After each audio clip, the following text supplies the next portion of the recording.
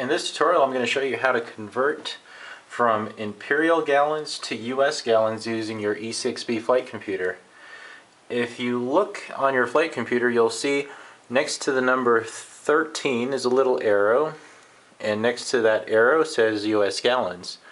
And similarly there is another tick mark next to the number 11 on the stationary scale that says US gallons.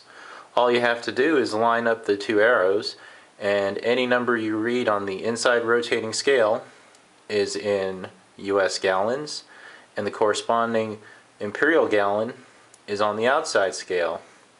And you'll want to keep in mind that an imperial gallon which is used in Great Britain or Canada is about 1.2 US gallons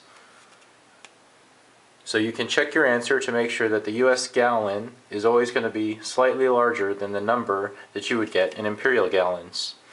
And you'll also notice that next to the number 13 it says US gallons. There's also one that says imperial gallons next to the number 11 on the inside scale. And similarly on the outside of this scale, next to the number 13 it says US gallons. So you could either line up the 13 on the inside to the 11 on the outside, or if you rotate the scale,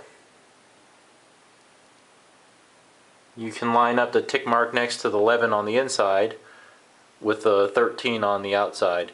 Either way will work. You just have to keep in mind the label next to the arrow is going to tell you which scale is reading what.